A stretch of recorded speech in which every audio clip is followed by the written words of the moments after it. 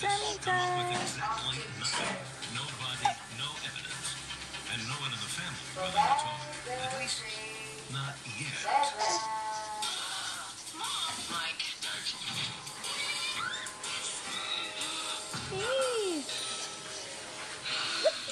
You're gonna on off your blanket. Middle. Those teeth coming.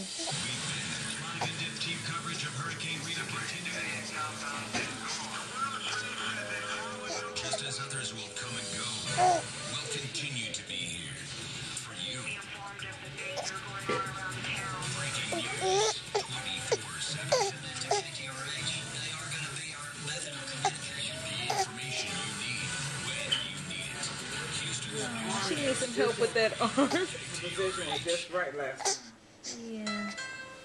Seems a lot of people are Yeah, not so happy can with your help her with her little arm. I don't like your arm like I know I didn't at it either.